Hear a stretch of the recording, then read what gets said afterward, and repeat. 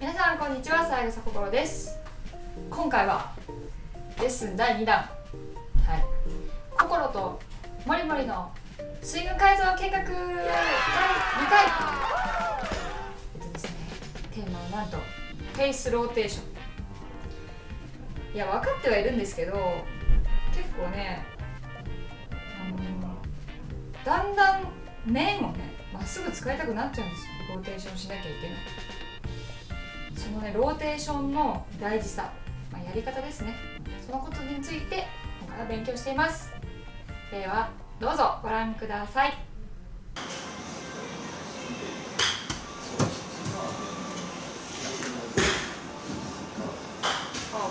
遅いですね。まだ全然。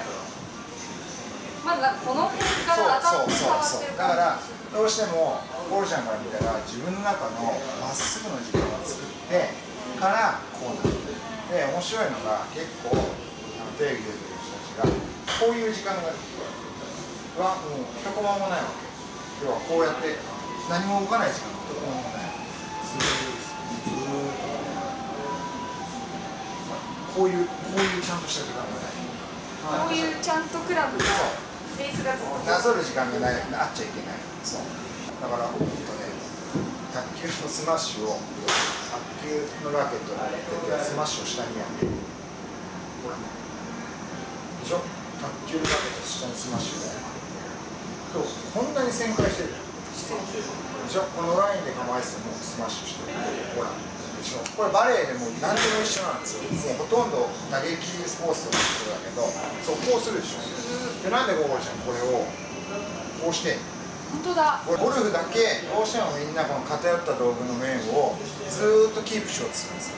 そう。そしたらでもこうなる。そう。右手一本でやったら右手でそうでしょこう持ったら卓球でいったらほらこうしてるでしょ。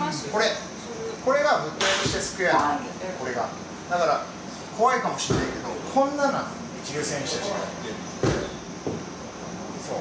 この動作にタイムラグもあるから入ってくるからだから笑うぐらいこうじゃん多分。だいぶ僕僕と喋ってて。このイメージは湧いてきてるはずなんだけど多分まだここちゃんが何年間か56年大事にしてきたものがまだ出るんですよ現場に。当たり前だけど。だからちょっとびっくりするかもしれない。ここからもうこういってみる。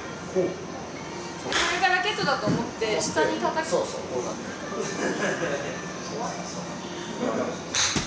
このだから結構ムチってくるねうん。具体的にほらそれを多分ちょっと右に出してやろうちょっとこう出すとこの辺このアドレスからそれそうそうそうそうそうそう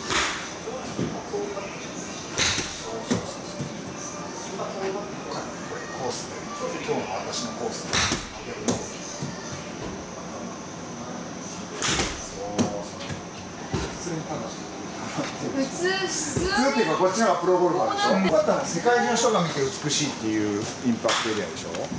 卓球の動きで。そうだからどんだけやっぱりゴルフっていうのは面白くてこのギャップが凄まじいわけでしょ。だから大人から始めた人はやっぱり面の見た目の映像に対して騙されてこれが起きないんですよ。そう。で結構。すごい意味わかんない。心配したこれで抱きつけるでもこれをみんな点数のみたいにこうやって練習するでしょ。うでも基本的にこここに卓球ラケットここにあるかもしれない一回ね作ろうとしたことは卓球用にこうやってそれを向こうに打つのはどうするこれ卓球ラケットれ卓球のラケットのそうあ普そう通にパンこれでしょ肘下めっちゃ僕が言ってる海海外海内が半端ないでしょこうやるでしょほらこれ。これこれでしょ？これをゴルフも一緒なんですよ。これちょっとひ卓球はこうやって肘出してるけどこの海内運動って分かるやってる人はあんまり意識しない。じゃあすごい。下からなんて言ったらもっと。そうそうこれだったらもっと。そう。でしょ？しかもそれをじゃあここの左隅に打ちたいってどうする？でしょ？なんとなくだけど体全体をこっちでしょ？エネルギー。はいその円弧とでこっち隅は？こっちでしょそう。でどっちが簡単なんですか？右隅と左隅卓球やってる人からすると初心者。左隅は簡単ですそう。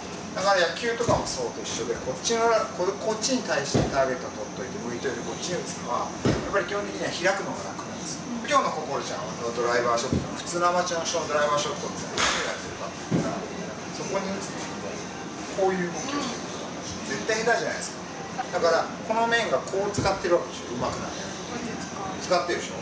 ゴルフからもこれをこういう面使いしないと飛ばないです。だからアプローチとかはカットでいいんですそう。でもみんなほとんど面を大人から始めた人っていうのはこの面面取りをずっとカットのイメージしかないんです。頭はいいから。こう左に右やるのこっちにしていかないとこっちが。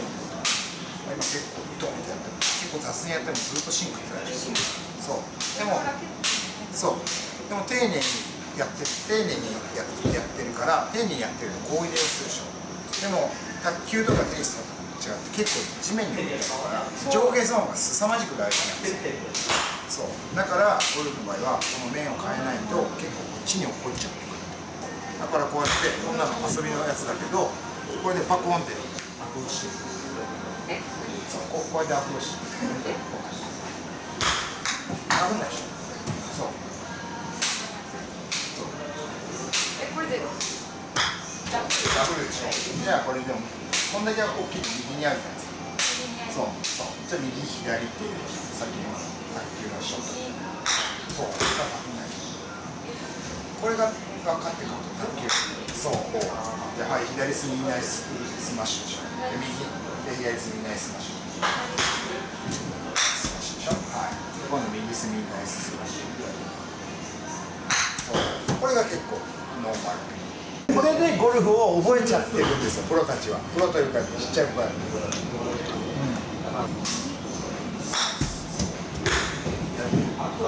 あのして